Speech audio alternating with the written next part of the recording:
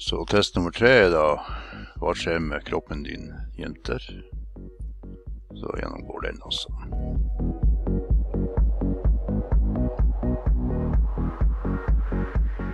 Start. Hvordan oppdager mange jenter at puberteten er i gang? Ja, det kan jo være litt forskjellig, men vanligvis er det det at brystene begynner å vokse, som merkes først. Jenter kan se at de får blod i trusa tidlig i puberteten. Hva er dette? Det er jo menstruasjon.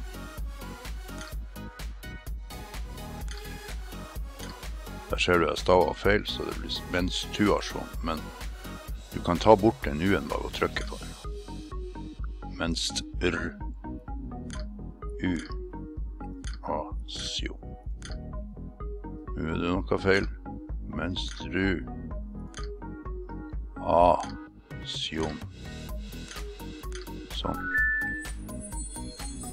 En god del lange ord som skal staves her, så det kan være vanskelig. Hvor mange anlegg for eggceller har jenter i eggstokkene? Omtrent like mange anlegg i hver eggstokk. De anleggene er laga veldig tidlig på fosterstadiet, før jentene er tolv uker på fosterstadiet. Så de anleggene er ferdig før jenta blir født. Og det er flere tusen av dem. Så i løpet av livet så vil jo jentene kanskje bare behov for noen hundre av dem, men eh, det er anlegg for flere tusen. Hvor går et egg som er modent når det forlater eggstokken? Ja, den her egglederen her, den har liksom noen slags sånn fingerlignende greier på tuppen her. Jeg vet ikke om man kan se det, men sant her. Og det begynner å fingre med, med eggstokken her. Og da vil et egg løsne, og da kommer det ned og inn i egglederen her.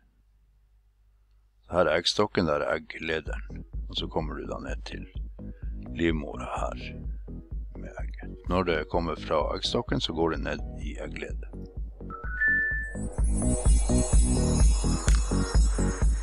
Hva skjer med en eggcelle som ikke blir befruktet av en sædcelle?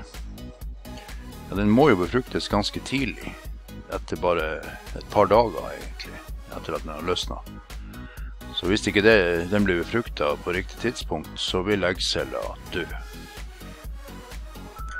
Og så etter at den er død, så går den ut av kroppen. Hvor lenge etter eggløsningen kommer blod og slim ut hvis egget ikke blir befruktet? Det er ca. 14 dager, to uker. Sant eller usant, menstruasjonen varer vanligvis i 10-12 dager, og så er det et hint her på bildet. Ser du at det står 11, 12, 13, 14, 15, 1, 2, 3, 4, 5 det er fem til syv dager som er det vanlige. Så det her er usant. Så der starter menstruasjonen. Nei, starter egg, eggløsninga dag én. Så går egget nedover her. Egget dør, og så får du menstruasjon. Da løsner de slimhinnene som egget egentlig skulle feste seg i. Så når menstruasjonen er ferdig, så bygges de slimhinnene opp eh, på nytt eh, de siste dagene her. Så løsner egget. Slimhinnene fortsetter å bygge seg opp til egget kan feste seg der. Hvis ikke egget fester seg, så vil eh, de slimhinnene som er i livmora, løsne. Og det er det som er menstruasjon. Hvorfor noen jenter vondt i forbindelse med menstruasjon? Ja, det kan jo være litt forskjellig, men det vanlige er at man får vondt i magen. Og det går over eh, etter noen år, vanligvis. Ikke hos alle, men hos mange. Hvor lang tid går det vanligvis mellom hver menstruasjon? Det er ca. en måned. Så det er vanlig med 12 til 13 menstruasjoner i året. Men det kan variere. I prikk, prikk, prikk kan menstruasjonen til jenter være veldig uregelmessige. Det er i begynnelsen, som jeg sa før. Så har du den her stavinga igjen. B, E, G, Y, N, N, E, L,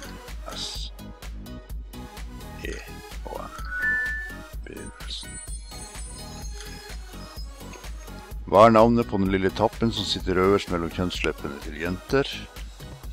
Så det ser jo ut som det er bilde av det her, men det er jo egentlig bare ei, ei mus, da. Med det som ser ut som en tapp, som er rullehjul på musa. Eh, men den lille tappen som egentlig på en måte er uh, jentene sitt svar på penishodet, som er nok den mest følsomme delen av kjønnsorganet, den blir kalt for klitoris. Klitoris. Men nå ble det feil igjen. Klitoris. Sånn. Når gutter og jenter er prikk, prikk, prikk, er de i stand til å lage barn. Her skal det være kjønnsmodne. Steril, dvs. Si at du ikke kan få barn. Klar. Eh, tja, det er liksom ikke rette ordet. Voksne er heller ikke rett, fordi at du kan få barn lenge før du er voksen. Så kjønnsmoden er det riktig. Og så er det å sette navn på de forskjellige delene, og da finner du et bilde i boka eller den PDF-en som ligger oppe på Visualize der. Og livmor, det er den greia her, som er nummer tre. Endetarm, den greide jo nummer fem klitoris, som ble nettopp nevnt, den sitter fremme eh, mellom kjønnsleppene. Kjønnsorganet der, så den er nummer to. Kjønnslepper blir ofte delt i indre og ytre. Det er nummer én der. Det er nummer én. Så eggstokk. Jo, der eggene er. Nummer fire.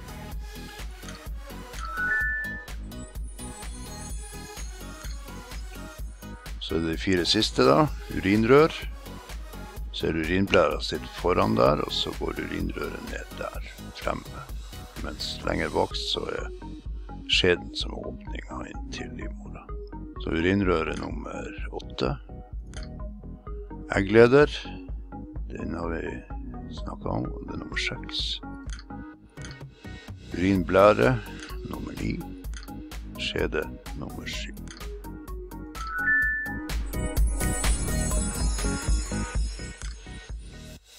Ser du at poengsummen ble dårlig, men eh, jeg håper det hjelper.